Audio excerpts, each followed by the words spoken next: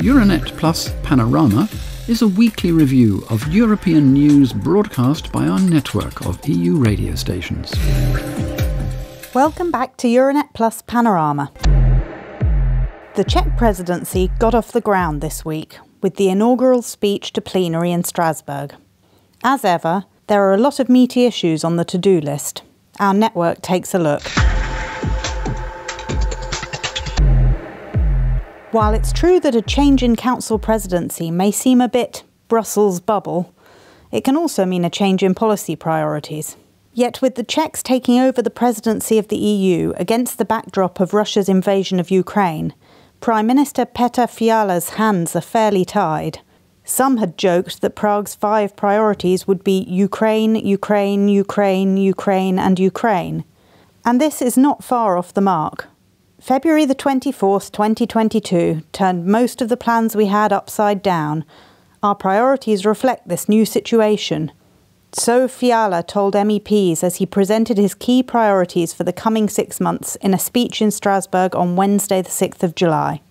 Dagmar Ostranska is the director of Sofia's Czech Centre, an official body of the Czech government established to promote Czech culture abroad. She explains to Bulgarian National Radio why the Ukraine question weighs so heavily on Prague's shoulders. В тази ситуация на окупация на Украина, в Чехия на всека, всека сграда, държавна сграда, установа, имаме In the context of the partial occupation of Ukraine, the Ukrainian flag is flying from every state building in the Czech Republic as a sign of solidarity. There are many people who feel compassion, in part because of the memory of our own former occupation by the Soviet army and the defeat of the Prague Spring. Ukrainians have been the largest minority in the Czech Republic since before the war. But from 200,000 before the war, they have now grown to half a million. The motto of the Czech presidency is Europe is a task, and it comes from the 1996 speech by Václav Havel, who spoke about Europe as a task, as a question, and about the new role of Europe.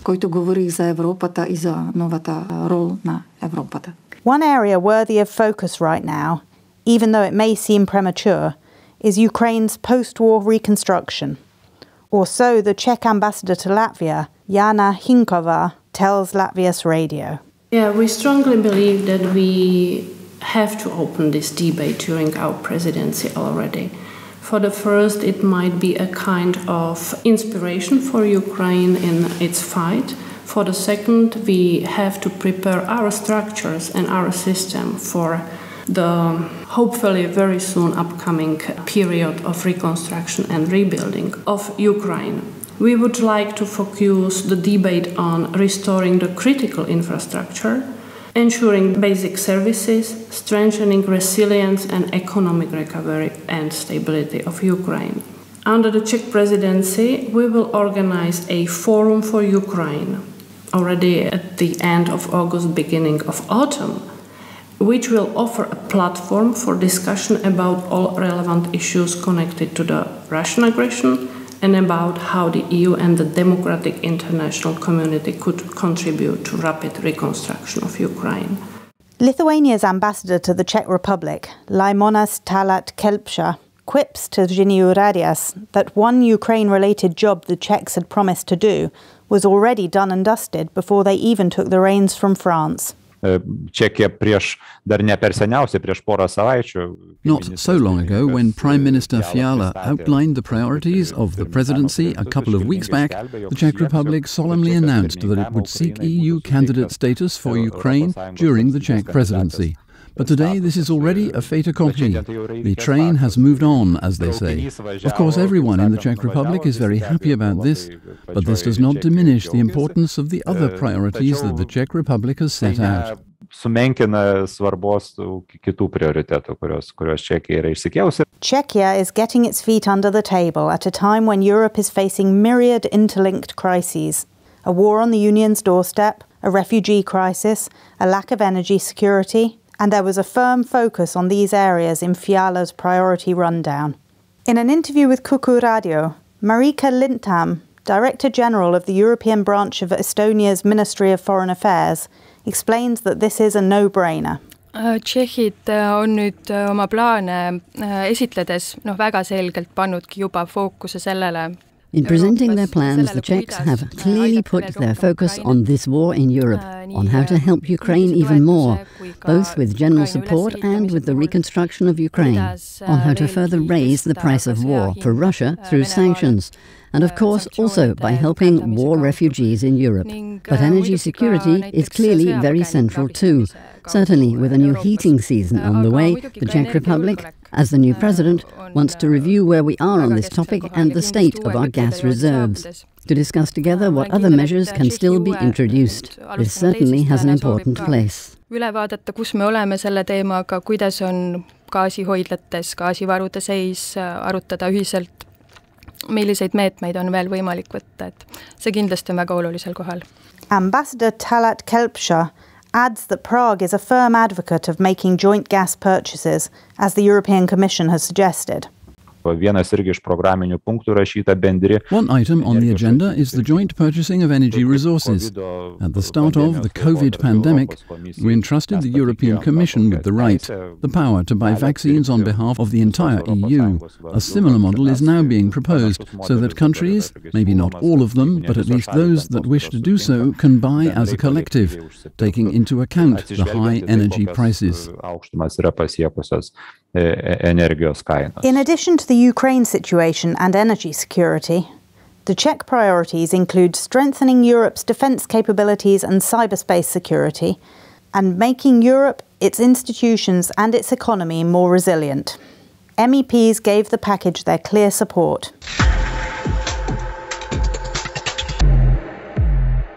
German MEP Nicola Beer is optimistic about Prague's prospects of making a difference during its term, but the Renew Europe member urges it not to forget its long standing goals in the face of all the other issues it is forced to contend with.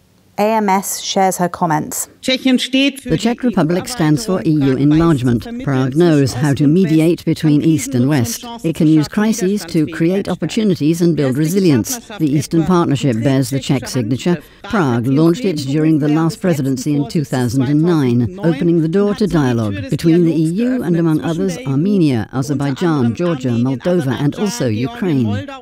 The EU needs this courage and this foresight to reposition itself. Externally, the buzzwords are common energy policy, fewer dependencies, in short, geopolitical. But we need to look internally too, at our own engine room. We must be able to make faster and better decisions if we are to carry global weight, and these reforms, for the EU's own sake, cannot wait. The Czech Republic must not tap on the brakes here. Rethink, rebuild, repower also applies to the positioning of the European Union. Here, the Czech Republic must be the driving force that the EU needs. I ask you to pay attention to this. During the debate in Parliament, various other MEPs underlined the need for internal reform in the EU, in line with the wishes of European citizens. Among those, Manfred Weber, President of the European People's Party. Now, we can only survive in confrontation with Putin if Europe is the lighthouse of free democracies in the world. That is why we finally need a convention to renew the idea of European democracy. We must take the people of Europe seriously when it is about European decision making. Petr Fiala's inaugural speech also touched on food security as one aspect of Europe's strategic resilience. Indeed, a delegation of MEPs visited the Polish Ukrainian border in late June to lay the foundations of a plan to reduce the risk of a potential food crisis both inside and outside Europe's borders. The topic was raised in plenary this week, with MEPs on Wednesday adopting a text on addressing food security in developing countries.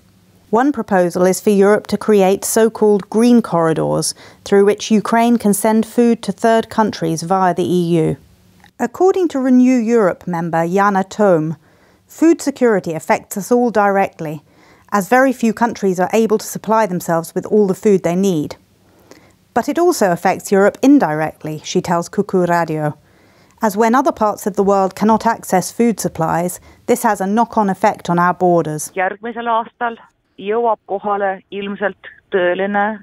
A real global food crisis will probably hit next year. We know very well from recent history that when there is a famine in Africa, for example, refugees head our way.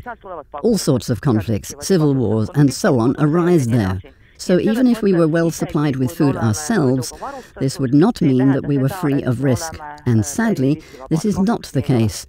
Ukraine and Russia are two countries on whose production most of the world depends.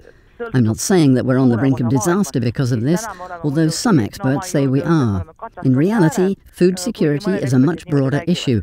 I think that Russia's aggression against Ukraine was more of a catalyst here, because the food market has not been regulated for decades.